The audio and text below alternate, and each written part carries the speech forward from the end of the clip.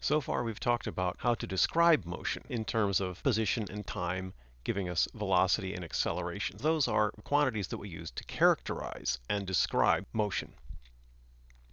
Now I'd like to actually get into some physics and talk about where motion comes from, what influences motion, what determines the motion of an object. I'm going to do this from a philosophical and historical perspective, how it used to be believed that it happens, and then move up to a more modern view.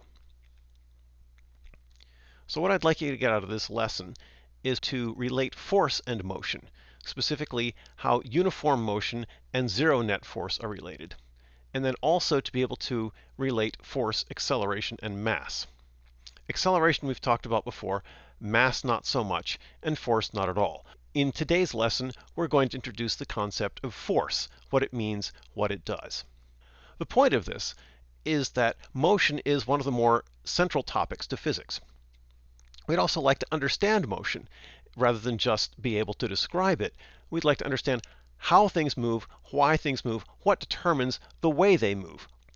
So for that, I need to introduce the concept of force because force is intimately related to motion. Force has a direction. We'll talk more about directed quantities uh, in a few lessons. Um, but for right now, we can say that force, like acceleration, like velocity, has a direction to it. Forces just as position and velocity can add together as well. So what we call the net force on an object, we have a single object with perhaps many forces acting on it.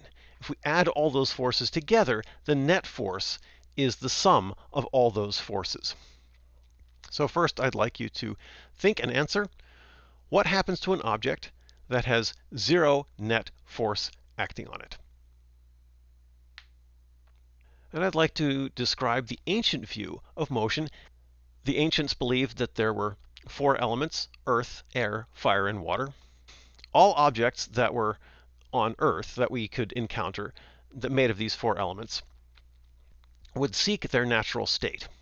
The natural state of earth and water is down toward the center of the earth all things, if you release them, will drop down toward the center of the earth. They might get stopped when they run into something like the ground, but that's their natural tendency is to seek their natural down state. Air and fire would tend to go up. And that was the understanding of the natural motion if you allow something to do what it wants to do. And then if you're going to change that, what they called violent motion would disrupt this natural tendency. I can take a rock and throw it upwards. That's a violent motion that's opposing its natural tendency to come back down. Once I've ceased that violent motion, the rock's natural tendency will then start to pull it back down. And this was maintained by all the ancient thinkers, most particularly Aristotle, who codified it and then was accepted for many, many hundreds of years. Later on, however, additional thinkers challenged this, including Galileo, and Isaac Newton finally codified Galileo's law of inertial motion. An object's state of motion does not change unless an outside force acts upon it. If the object is at rest, without any outside force acting on it, it just remains at rest. If it's already moving, it continues moving in a straight line at a constant speed, as long as there is no external force acting upon it. This is quite contrary to the idea of natural states and violent motion. But does it make sense? Why did Newton propose this if this is contrary to what we naturally think? Well, a degree of experimental evidence had supported the idea that this was in fact the case. So I want you to think about it. You have access to examples of motion that the ancients didn't really. You've been able to sit in a car traveling at a fairly high speed along a straight level road. The ancients really didn't have that opportunity. They'd have to run or ride a horse or something like that, and they definitely feel some forces, definitely feel some effort going on. But if you're just sitting in a car, or cruising in a plane, or in a train, as long as it's moving in a straight line at a constant speed, do you feel that force? Or does it feel just like you're sitting still? I think you'll recognize that it feels just like you're sitting still if you're sitting in a plane that's hurtling through the sky at 600 miles an hour it feels like you're just sitting in your own chair. You're not feeling any force pushing you forward.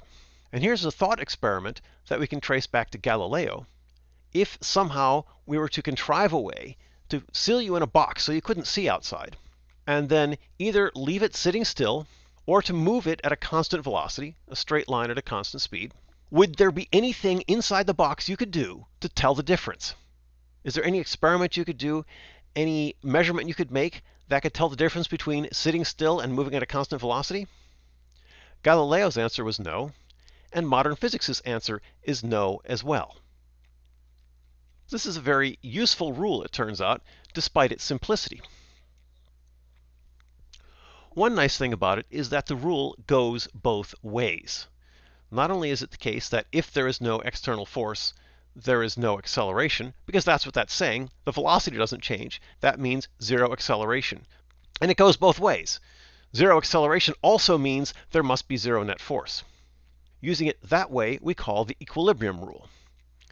If there is a constant velocity, zero acceleration, then there is zero net force. From that, if we know that an object is in mechanical equilibrium, traveling at a constant velocity, then we know that all the forces add to zero.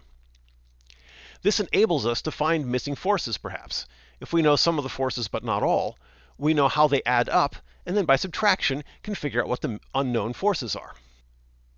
What Newton's first law has done for us is remove the distinction between motion and non-motion.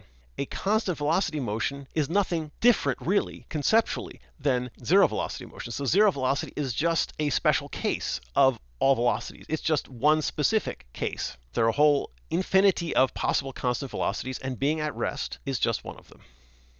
That's Newton's first law.